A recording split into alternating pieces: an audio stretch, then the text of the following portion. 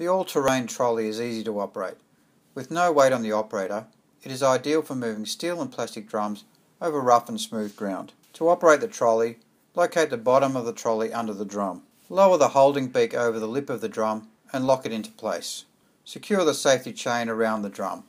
Pull back on the drum and locate it safely onto the trolley. We at DHE Materials Handling Equipment are specialists in fork and crane attachments, container ramps, drum handling equipment and manual handling trolleys. Please visit our website at dhemhe.com.au or contact us on 1300 067 281 for all your materials handling equipment needs.